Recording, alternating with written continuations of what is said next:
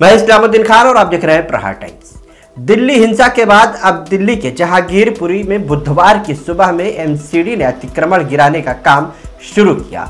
एक साथ कई बुलडोजर चलना शुरू हुए तो कई लोग बेरोजगार हो गए। इस दौरान एक बुलडोजर मस्जिद के पास भी चलता हुआ दिखाई दिया। मस्जिद के गेट के पास बने दीवारों को इस बुलडोजर ने गिरा दिया। कोर्ट ने बुलडोजर रोकने का आदेश दिया था, मगर उसके बावजूद भी ये बुलडोजर चलता रहा। जब याचिकाकर्ता ने सुप्रीम कोर्ट को जानकारी दी कि कोर्ट के आदेश के बावजूद भी बुलडोजर से कार्रवाई जारी है तो C J I N V Ramana ने फ़ौरन रजिस्ट्रार को आदेश दिया। कि एमसीडी दिल्ली पुलिस और मेयर तक हमारा संदेश तुरंत पहुँचाया जाए।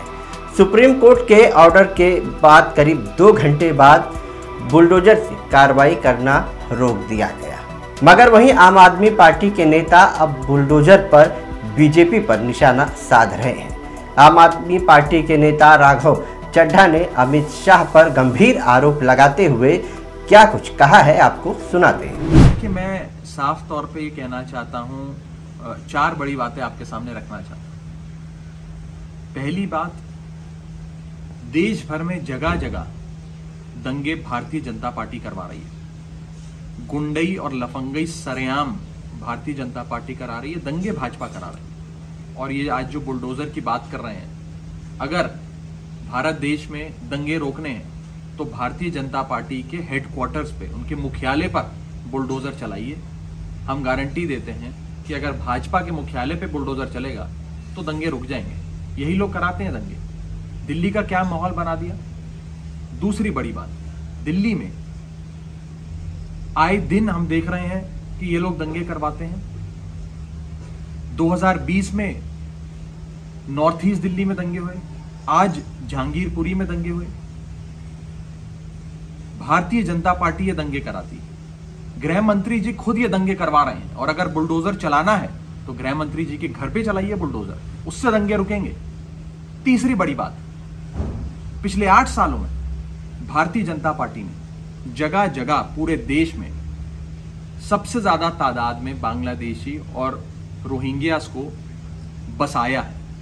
इसलिए बसाया है भाजपा ने कि उनका इस्तेमाल कर कर दंगे कराए जाए। अगर आपको यह जानना है कि भाजपा अगला दंगा कहाँ प्लान करने जा रही है, किस स्तर का प्लान करने जा रही है तो आप भाजपा को बोले कि कहाँ कहाँ इन्होंने बांग्लादेशी और रोहिंग्यास को बस, बस बसाया है उसकी सूची दे दे। भाजपा वो सूची आपको देगी तो आपको पता लग जाएगा कि भाजपा ने कहाँ कहाँ दंगे प्लान करे हुए हैं। मैं भाजपा से पूछना चाहता हूँ कि भाजपा बताए कि कहाँ कहाँ उन्होंने बांग्लादेशी और रोहिंग्या को बसाया है भारत देश में। उसी से आपको साबित हो जाएगा पता लग जाएगा कि इनकी अगली प्लानिंग क्या है। और चौथी सबसे बड़ी चीज़ आज ये लोग बुलडोजर की बात करते हैं। भारतीय जनता पार्टी पिछले पंद्रह सालों से नगर निगम में पंद्रह सालों से भाजपा के नेताओं ने पैसे खा खा कर इलीगल कंस्ट्रक्शन कराए। आज जो ये इलीगल कंस्ट्रक्शन को तोड़ने गए हैं, मैं कहता हूँ इसके साथ साथ भारतीय जनता पार्टी के उन नेताओं के घर भी तोड़ने चाहिए, जिन नेताओं ने पैसे खाकर, रिश्वत लेकर ये इलीगल कंस्ट्रक्शन कराई नगर निगम में एमसीडी में भाजपा पिछले पंद्रह सालों से सत्ता पे काबिज है। ये सारी इलीगल कंस्ट्रक्शन ये लोग पैसे खाकर करवाते हैं, खुद करवाते हैं। मेरा ये कहना है कि बुलडोजर चलना है तो उन लोगों, उन नेताओं के घर पे भी चलना चाहिए जिन लोगों ने पैसे खाकर ये इलीगल कंस्ट्रक्शन करवाए